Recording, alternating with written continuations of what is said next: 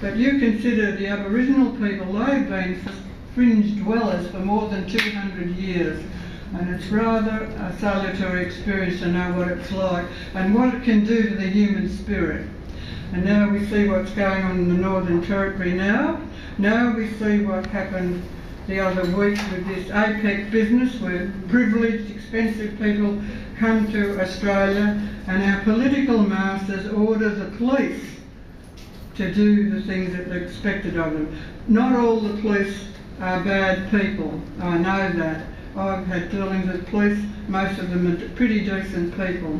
But I've got terrible things to deal with. My view is that government should not use the police force to terrorise people when they're exercising their democratic rights.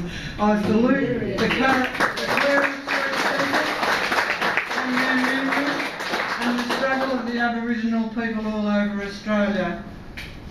And we can learn from them. It's about time we did because we have made a mess of Australia.